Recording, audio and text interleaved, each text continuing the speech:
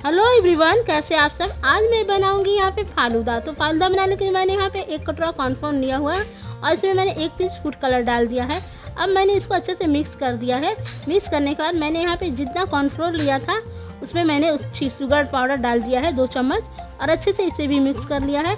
इसमें मैं डबल पानी डालूँगी और धीरे धीरे इसका एक बेटर तैयार कर लूँगी पतला सा। इस तरह से देखिए, पानी डाल के इसका घोल तैयार कर लेंगे। तो यहाँ पे मैंने जितना कॉर्नफ्लोर लिया था, उसका डबल पानी इसमें डाल दिया है। तो मैं इसको अब एक पैन में डाल लूँगी।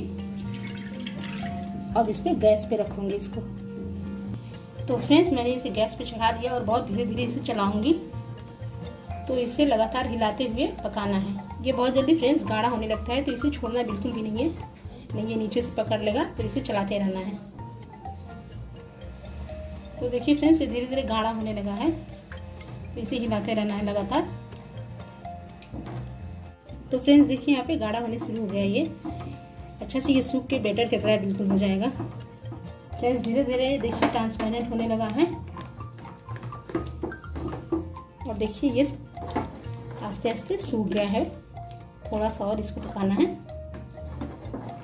तो यहाँ पे मैं नमकीन बनाने वाला ली हूँ, पतला वाला, इसका जिससे सेव बनता है, इसको मैं इसमें भर दूँगी।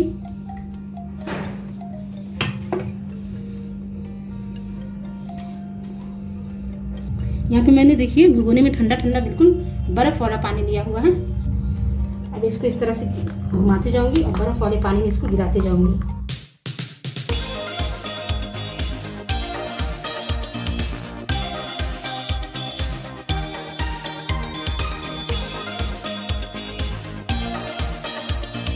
तो यहाँ पे देखिए फालूदा बनके तैयार हो गया है। कुछ देर इसको बर्फ़ वाले पानी में ही रहने देंगे। बहुत ज़्यादा चिल वाटर है तो हाथ डालना भी मुश्किल हो रहा है इसमें। फ्रेंड्स यहाँ पे मैं फालूदा बना रही हूँ। सबसे पहले मैं ठंडी ठंडी रबड़ी डालूँगी इसमें। आप चाहे तो गिलास में भी सर्व कर सकती है। बट मैं कटोरे में बना के दिखा रही हूँ। अब इसके ऊपर मैंने होममेड रू अफजा डाला है। इसकी रेसिपी अगर आपको चाहिए तो बताइएगा। मैं लिंक दे दूँगी। यहाँ पे देखिए मैंने सब्जा सीट को भिगो करके रखा था, उसे डाल दूँगी। मैं यहाँ पे ठंडा ठंडा फालूदा डालूँगी।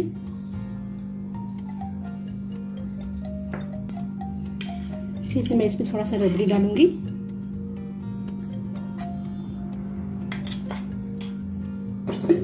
थोड़ा सा होममेड रूह अफजा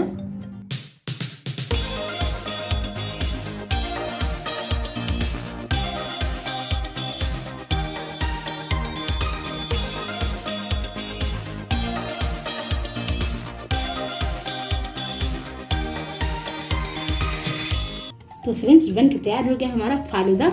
बहुत ही टेस्टी और यम्मी सा।